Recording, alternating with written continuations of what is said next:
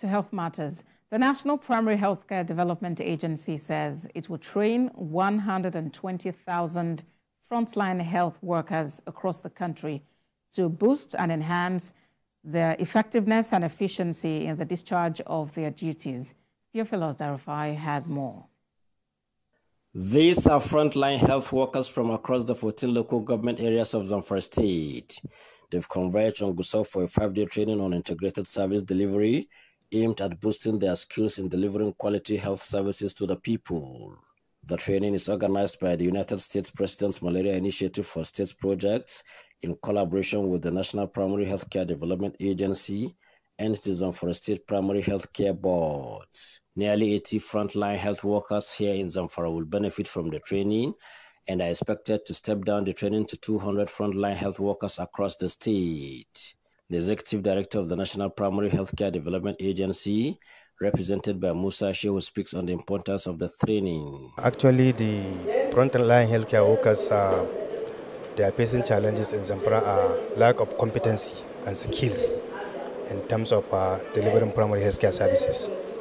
And generally, all over the federation, uh, we are going to train 120,000 frontline healthcare workers, generally, all over the 36 states in the federation, including the FCT. Uh, this training is going to be five days training.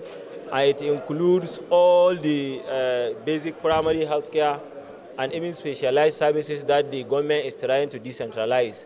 For example, HIV, uh, TB, and uh, even leprosy.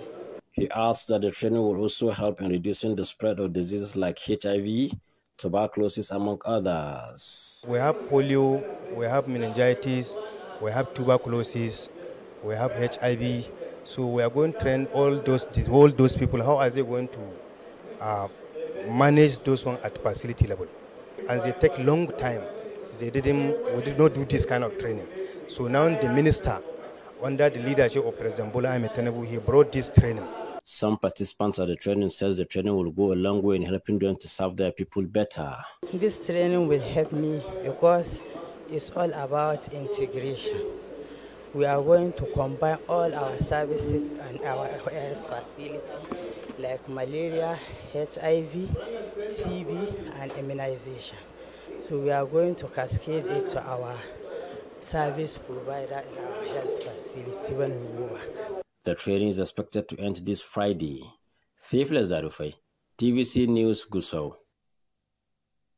Now that crisis